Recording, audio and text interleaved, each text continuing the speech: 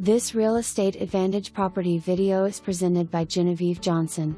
This charming lake cottage offers a perfect year round retreat with 65 feet of lakefront property.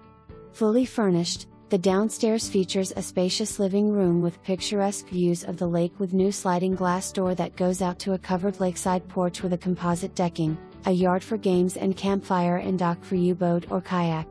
The dining room also overlooks the lake and has a laundry area.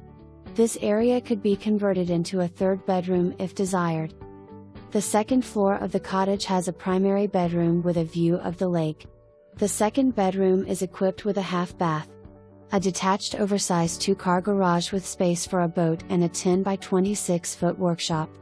The garage's upstairs area has the potential for expansion into a two bedroom apartment, offering versatility and additional living space. The owners have totally remodeled this home in the last three years with new metal roof, insulated vinyl siding, new kitchen, first floor bathroom, wiring, floors, covered porch, one fifth bath on second floor, some windows and new dock.